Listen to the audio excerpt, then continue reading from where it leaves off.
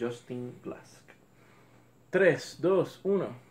Bueno, para el primero de los juegos me gustaría hablar de Mint Delivery, de la compañía 524 Labs y del diseñador Justin Blask. En este juego de 2 a 5 personas, tú vas a tener una compañía de entrega de mentitas. Mentitas a las diferentes eh, compañías. Fuck, it was so good.